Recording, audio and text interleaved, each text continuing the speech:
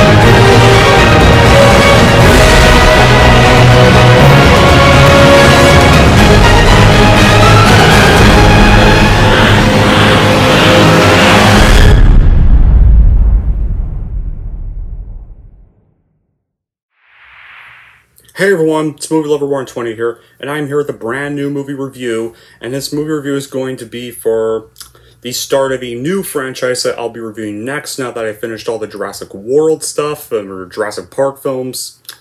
Time to move on to the next franchise because we have another film in this franchise that's also coming out this summer in July, and that's of course none other than a certain, this one is going to be for an animated one, one that started in 2010, and I, I think you can tell just by, I don't need to really say much because of the intro you just saw there in this video and um, background. I think you can tell what it is. Yeah, it's the Despicable Me, Despicable Me franchise, or aka the what people seem to now call the Minions franchise. Because of a certain hated spin-off that I also will be reviewing this in June, that I'm not excited to do. But yeah, so anyway, this was pretty much the kickstart to the animation company known as Illumination, an animation studio that pretty much dominated the 2010s with most of their stuff. While not too well received by critics, they were often box office hits and made a lot of money, so let's say that's why I say they dominated the 2010s in animation studios. As they've seen as besides Disney, they seem to have made the most money. They were pretty much the amount of money once DreamWorks used to make. Anyway, what's the plot of this film? Well, the film tells the story of a supervillain named Gru who adopts a trio of orphan girls named Margot, Edith, and Agnes, and also attempts to steal a Shrink Ray from his rival Vector in order to shrink and steal the moon and become the best villain of all time. As technically speaking, he's kind of a bit of a failure when it comes to villainous schemes. Sure, he has like he had like maybe one success with with this scream from Times Square, but other than that, most of his crimes usually are just stealing things from Las Vegas. So this crime will make him the greatest villain in history. So how was this film made? Well, Despicable Me was initially developed by Sergio Pablos under the working title Evil Me. He later participated in development during the early stages of the production and took the package unsolicited to Universal Pictures, where he became the first of several screenwriters on the project as well as executive producer. Producer Chris Meledandri, now the owner of Illumination, left 20th Century Fox Animation as president in early 2007 to establish his own animation studio under Universal Pictures, which he of course named which is now known as Illumination Entertainment, or now just simply Illumination. After buying the pitch from Pablos, Meledandri brought in screenwriters Ken Paul and Ken Daurio, whom he had worked on on the, on the 2008 Dr. Seuss adaptation of Hears a Who, while when he was at Fox, to write the project. Soon after, he brought together animators Pierre Coffin and Christopher Renaud to direct, with the Paris-based studio MacGuff to handle animation. Coff Coffin, who comes from MacGuff, was recruited was recruited to for his experience directing commercials for the studio, while Renaud was brought in for his animation experience in Blue Sky Studios, which was now shut down. In November 2008, Illumination Entertainment announced the beginning of the development on its first CGI animated film and Project Despicable Me. And so, yeah, the film was like made, marketed. You all know the jazz how it usually goes. Despicable Me debuted at the Moscow International Film Festival on June 19, 2010, and was then released in the United States in theaters on July 9, 2010. The film received positive reviews and earned $543 million worldwide, becoming the ninth highest grossing film of 2010. It was nominated for Best Animated Feature Film at the Golden Globe Awards, BAFTA Awards, and Annie Awards. It's also the first entry of what would become one of the most notorious franchises in animation.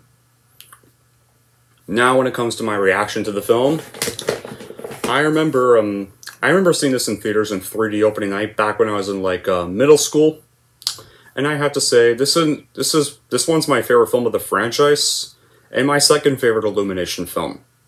This one actually, of compared to most of the stuff Illumination did after this, well, with the exception of one feature that I reviewed weeks ago, this one feels, or two features anyways, not in this franchise. This one feels it like it has the most heart put into it compared to the rest of the series. Now, the second one actually was also pretty good, even if it didn't come close to this one. While the spin-off in 2015, yeah, that one really sucked balls. And the third one was mediocre, and not really needed. But back to the review for the first installment.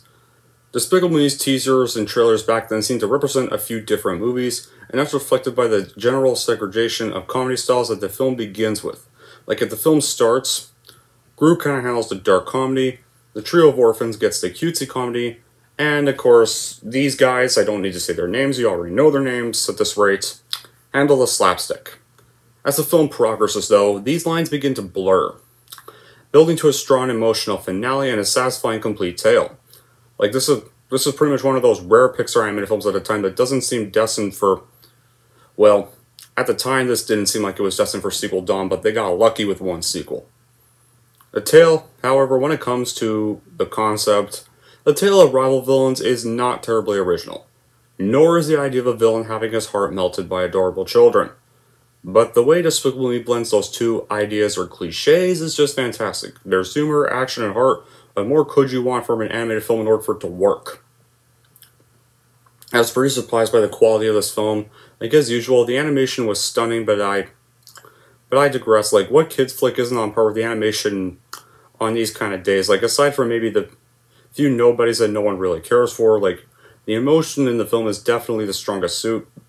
For you'll probably find yourself very touched by these characters by the end of the movie. This makes up for the rather simple story actually, one you probably have seen in some cartoon show somewhere, or just done to death. And um, there are also quite a few juvenile jokes in this movie, specifically with bodily functions, like like specifically a reference to a dart gun, also become an iconic. The certain gun has also become an iconic thing in this franchise, and and there's some kind of references to motifs like from James Bond movies like Goldfinger and Moonraker. Um, it's also um, it's also this one uh, little reference to um ass, where in order to dump the orphanage owner to let him adopt the three girls for his plan, Gru uses words dipping with false sentiment, then then pretty much butters up by telling her that she is a face como non moro. And um, for those of you who obviously don't know Spanish, or do or do not know Spanish, I should say, it's basically, he said like she has the face of an ass, as in donkey in kind of a way. But since since the orphanage owner apparently doesn't seems like she does not know the Spanish language, is kind of taken in. Well, eventually she does pick up a Spanish book and discovers what he really meant. And I think we all know what those characters are. Well, what the infamous comic relief characters are. They're the yellow-skinned little jelly beans that we all call today the Minions. As many know now, the Minions are the mascots of Illumination and the famed Despicable Me franchise. With their innocent yet reckless nature and garbled language, the Minions are the ones that'll have all, that pretty much had audiences rolling over the floors at the time this came out. Well, um, they were destined to be, but then, of course, as soon as their spin-off came out, they've kind of become hated. Nowadays. Well, they aren't, but thankfully, like, this is the only one where they're not really the main focus of the film.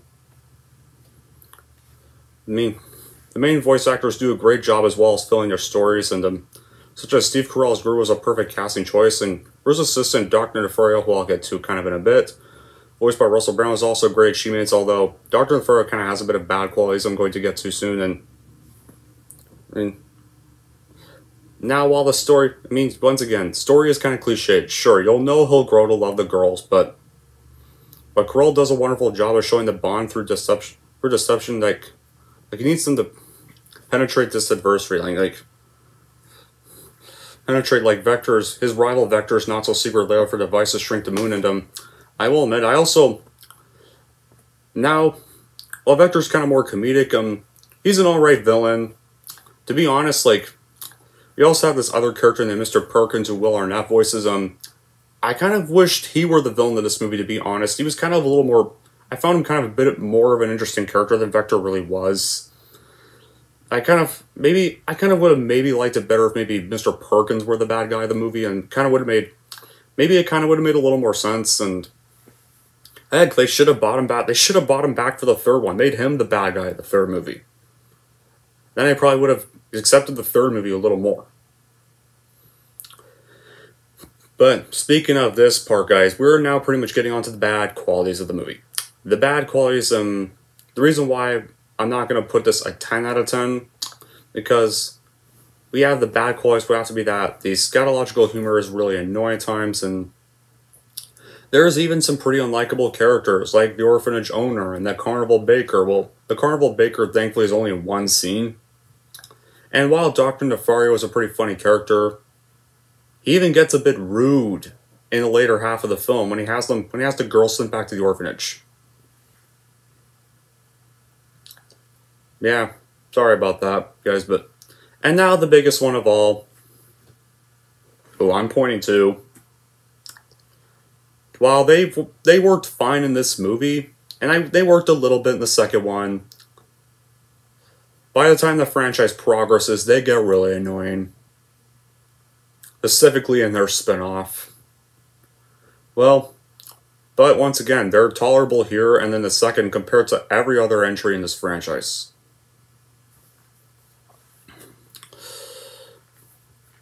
So yeah. That's probably that they're probably this movie's biggest baddest quality.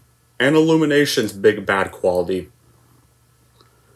But despite that, Despicable Me is a perfect start to an animation studio that would soon be coming close to reaching Disney level success with box office numbers and become a big name in the animation industry due to it.